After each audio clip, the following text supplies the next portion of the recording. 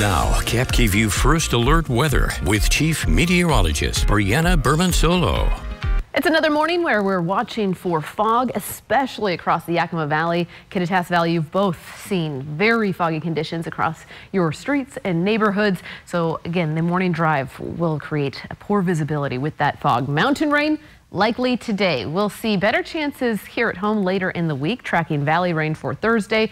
Today in the Tri-Cities, Yakima, Walla Walla, you're starting off with clouds, some of us low clouds, and then drizzle is possible throughout the afternoon hours. Your rush hour forecast on this Tuesday as you head back to school and work after the long weekend. You will notice, again, 30s turning to 40s. It's a bit warmer this evening if we can get a little more sunshine than we've seen in the past few days. Green light forecast, but do use caution if you run into to areas of patchy to dense fog once again. The Futurecast shows that the cloudy conditions persist, but we might get some nice clearing by the end of the day, creating some sunshine before sunset. At 4 o'clock, when we're getting closer to sunset, uh, you can see that the computer models want to show a mix of clear skies and cloud coverage.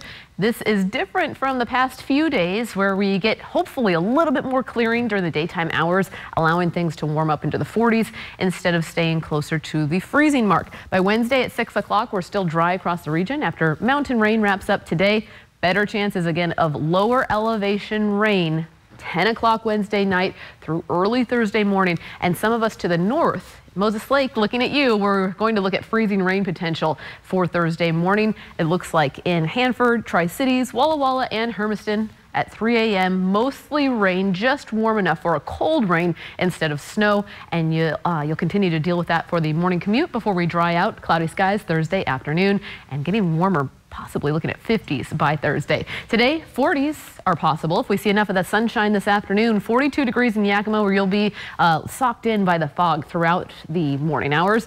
44 degrees, you're high in the Tri-Cities. Yakima, I should mention, also under a freezing fog advisory once again for the fifth day in a row because of the very stagnant air in place, keeping the low clouds around. 40s for Pendleton, Walla Walla, and Dayton. Tri-Cities, 40s over the next couple of days with foggy skies and definitely cloudy cloudy skies. will be warming up to the 50s with a few morning showers on Thursday. Drying out for the weekend. Yakima, fog to start today, some drizzle this afternoon, and you do have a few rain chances with warmer temperatures on Thursday.